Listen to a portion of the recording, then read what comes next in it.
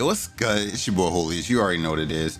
And today I'm gonna be running through with y'all how to min-max your gear. It's getting to that point in Tower Fantasy's life where right now we're kind of hitting that that level off point where it's like, what what am I supposed to be doing right now? Um, the best thing would be min-maxing your gear. If you are running joint ops, if you're using your joint ops stuff and getting this gear, you'll want to know what kind of gear am I looking for.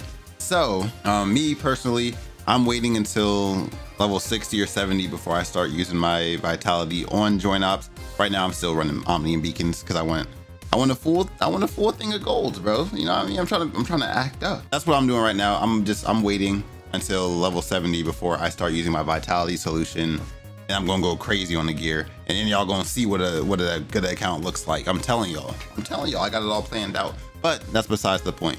Before we get into the video, I do want to say the Nintendo Switch giveaway has been completed. Uh, the homie, where's he at? Where's he at? The homie Grinding Tavern has confirmed that he has received his Switch.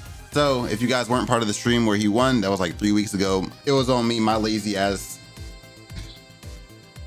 my lazy ass told him on the 11th. I was like, yeah, bro, don't worry. I'm about to I'm about to ship it out tomorrow. I ain't ship it out until like Thursday, like last week, bro. I'm not even gonna lie to y'all. But at the end of the day, he got it. That's all that counts, right? That's all that counts. It don't matter when. It just matters that he did. Now, like I told you guys before, there's a second giveaway.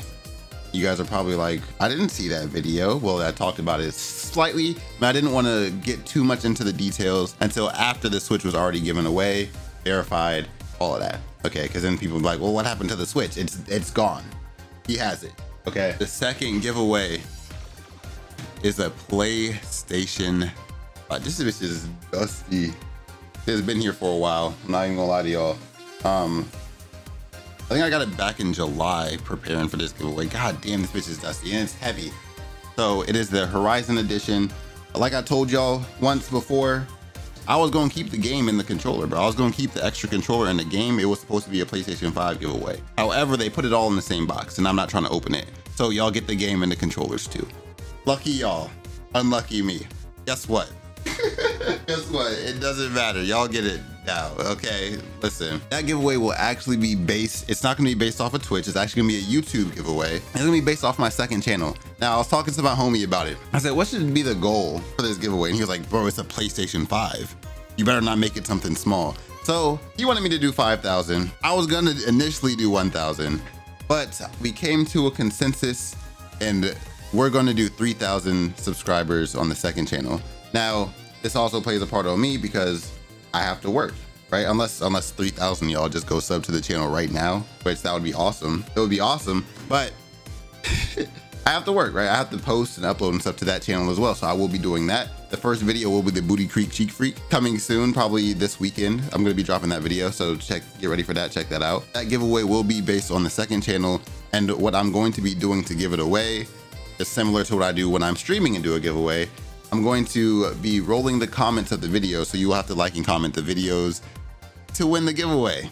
Okay, I'm gonna be posting it, and I'm gonna choose random videos. So make sure y'all are commenting, because if y'all aren't commenting and I and you didn't comment on this video that I happen to pick, that's on you. That's not on me. So I will most likely pick by the by the time the, by the time we hit 3,000 subscribers, I will pick 16 videos that are on that channel. If there's not 16, by like let's say y'all run that bitch up today, as soon as we're done, I'll roll 16 comments in general based off the videos that are there already. And uh, we'll go from there. Okay, so 3,000 subs on the second channel for the PlayStation 5 giveaway. We're gonna roll the comments. 16 comments get picked. We run a tournament. The winner of the, the winner of the tournament wins the PlayStation 5. Second place and third place will win a Tower Fantasy Battle Pass. I know pretty big difference in, in goals, but that gives you a reason to win. So good luck to everybody that wants to participate. And uh, let's get into the video. Let's talk about gear. All right, pretty, this is gonna be a pretty straightforward video. The homie at the Datamine Central Afro DIY, I don't know if that's how you pronounce it I'm gonna just call him Afro. The homie Afro dropped some information today about the characteristics and everything about gear. I thought I'd go over them real quick to help you guys kind of understand if you guys did see it and what to be looking for on your stats um, that your armor can roll. First off, as you guys know, there is what is that eight pieces of gear that we can obtain as of right now there may be some more when 2.0 comes out we'll get into that when 2.0 comes out but as of right now you can have eight pieces of gear there's a head shoulders, knees, and toes. Shoulders, knees, and toes. Knees and... There's eight. so you get the head, shoulders, the chest guard, the wrist guard, the belt, the gloves, the leggards, and the boots. Okay, it's pretty straightforward. The two main pieces that we kind of focus on are the gloves and the boots because they're the only two that can roll crit. Okay, so you want to make sure that those two have crits on them, and hopefully when you roll them, you will get crit. Okay, so we look at my boots, they don't have crit. These boots are dog shit. We look at my gloves, they have crit, and they've rolled into crit at least once. I think they might have only hit crit once, flame attack once, and attack once. Now, if we look at some of the other gear that I haven't rolled on yet, we can see some of the base stats for the random stats, right? So attack usually starts at 52, elemental attack usually starts at 69, and we can see this from my leg piece because it has a bunch of volt, it has every last one of them, and it hit resistance once and flame attack once. So if you guys have played other games with this, which most gacha games have something like this implemented into them, whether it's runes, artifacts, whatever you want to call it. They have some sort of random rolling system with the gear to make you stronger because it kind of gives you that RNG aspect and feel of a game, which is kind of nice. Um, lot, I know a lot of people don't like it, but I kind of like the RNG aspect where you get that roll. It just feels so good when you hit that bitch like four times. Oh my god, y'all know the feeling. Y'all know the feeling. It just feels so nice. Unfortunately for me, all of my pieces have been doggy dog so far, so I haven't been able to get that feeling yet. I haven't got that piece where I'm like, please roll. We'll get there. Don't even worry about that. We'll get there. Um, so be ready for that because we're gonna be rolling like like a mug on these videos uh, once I get the stuff. So like I said, the gloves and the boots are the only ones that can get crit. Okay, the rest of them, you're gonna wanna be trying to roll volt attack and attack rolls or frost attack and attack rolls. Whatever, whatever gear piece you're looking for, you're gonna make sure that that elemental damage is there. Now, if we look at the chart here for the legendary and epic pieces, that our homie Afro has provided us, you will see the the initial value, which is what I was showing you. The elemental attack usually starts at 69. The uh, attack is usually 52, and crit is usually 258. Now, this min upgrade and max upgrade is when you roll into it. So, like, if I were to upgrade, let's say, my boots, right? If I enhance my boots right now, it, it advanced them, right? They level up. I have volt attack here. Okay, I could get Again, these boots are ass, so I'm not ranking them up because they don't have crit and I literally don't care about them. But if I were going to, right, my volt attack is 266 right now. What it's saying is when I advance that, then it could either go up by a minimum of 125 or a maximum of 312. Okay, so that's what this chart here is saying. Okay, it's the same thing for all of these. If you're if you roll attack for the first time, if you if you never if you never touch the attack on a gold piece let me see if i have a piece like that where i haven't touched attack yet. There it is. Attack starts at 52 right here and there's flame attack.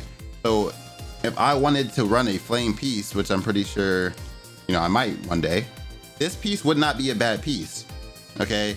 I just need to make sure when i roll it that it hits flame attack and attack okay? Perfect rolls would mostly be in flame attack. Perfect rolls would mostly be in flame attack. So when I use my fire weapons, they'll go up.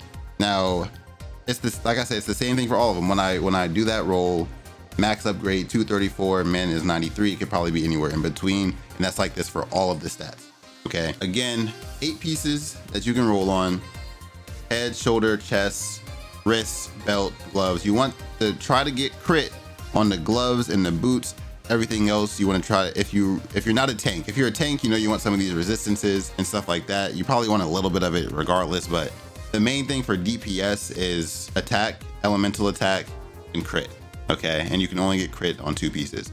So i mean it's it sounds like a lot but it's pretty simple at the end of the day especially with this chart. You know how the highest rolls you can get um, and the lowest rolls you can get. You know what you're looking for on what pieces literally every other piece if you're if you're going for damage you want attack and some kind of elemental attack right? Attack and some elemental attack right? That's that's what you want every other piece. Gloves you're looking for crit. Boots you're looking for crit. The these stats are always going to be the same on uh, whatever piece you're on. It literally doesn't matter. So the random attributes that's what you're looking for. When you get a nice piece lock it. And you can lock your gear by clicking on it and clicking lock Simple as that. Make sure you lock that shit when you get a good piece. even if you haven't rolled it yet, if you if you literally just get the piece, right, and you're like, this looks good, you know, you look at it, you're like, okay, my boots, they have crit, they have volt attack, you know, I'm gonna roll this later. Lock it, lock it, because when you're leveling up another piece and you maybe haven't gotten to that one yet, it will feed it. so lock it. I just want to make sure y'all know that. So I mean, honestly, that's about it. Make sure y'all check out my second channel in the description. Like I said, PlayStation 5 giveaway based off of that. I'm gonna catch y'all on the next one. Much love for watching. I appreciate y'all, man. Hope this helps. It's been Bo It's like always, man. Check out the other videos I got on the channel.